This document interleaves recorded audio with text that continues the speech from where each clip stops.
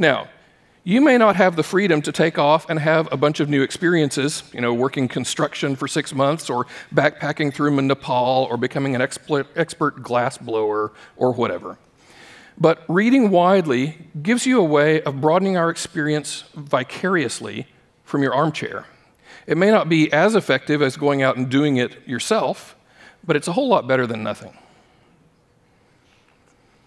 Here's a personal example. As Neil mentioned, four years ago, when I had a different job and a little less gray hair, I spoke at the first O'Reilly Software Architecture Conference.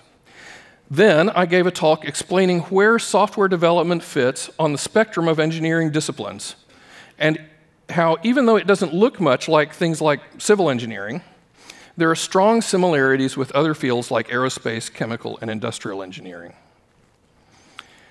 That talk was actually 15 years in the making. I had spent the first part of the 90s learning what you might call classical software engineering, structured and object oriented analysis and design, modeling, UML, etc., and being frustrated by it. And then I spent the latter part of that decade learning about the then new ideas of agile software development.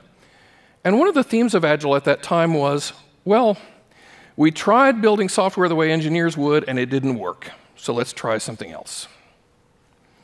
And in the middle of that, in July 2000, I stumbled upon a wonderful article by David Billington in Scientific American, The Revolutionary Bridges of Robert Maillart. There, I learned that, at least in some cases, designing and building bridges doesn't look much like stereotypical ideas of what engineering is like. It's full of iteration and experiment and trial and error, and it's kind of test driven. It sounded a lot like software development. That led me to two related books by Henry Petroski Engineers of Dreams, Great Bridge Builders and the Spanning of America, which features several of the beautiful bridges around Manhattan, and To Engineer is Human The Role of Failure in Successful Design. Those books confirmed to me that real engineering is rarely as straightforward and predictable as what we've all been led to believe. And from there, I went on to aerospace engineering and mechanical engineering and read some of those things.